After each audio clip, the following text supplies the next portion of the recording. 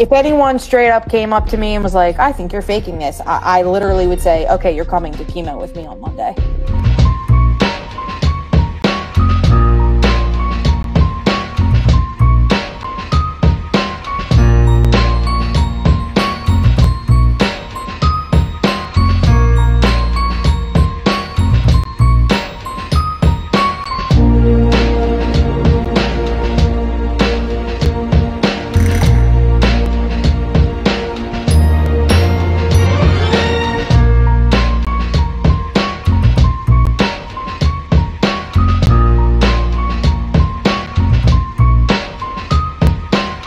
People have tried to say I'm scamming people.